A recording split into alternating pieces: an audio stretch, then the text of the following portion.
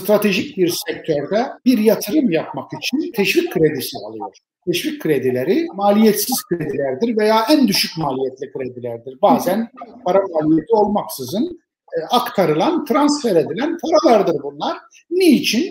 O toplumda bir açık vardır, bir gıda açığı vardır, bir teknoloji açığı vardır, hayati bir alanda açık vardır.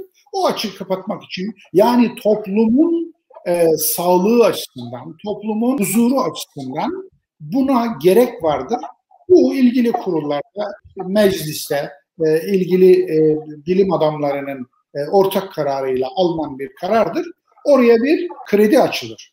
Bu krediyi adam alır da amacının dışında kullanırsa bu helal olmaz.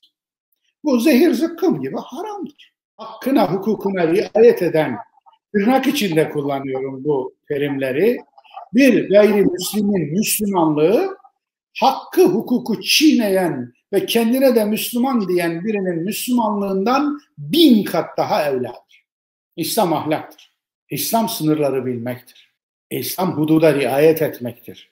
Hakkı hukuku çiğneyen birinin kendine Müslüman demesi Müslümanlığa, İslam'a en büyük hakarettir. Başka bir şey değil.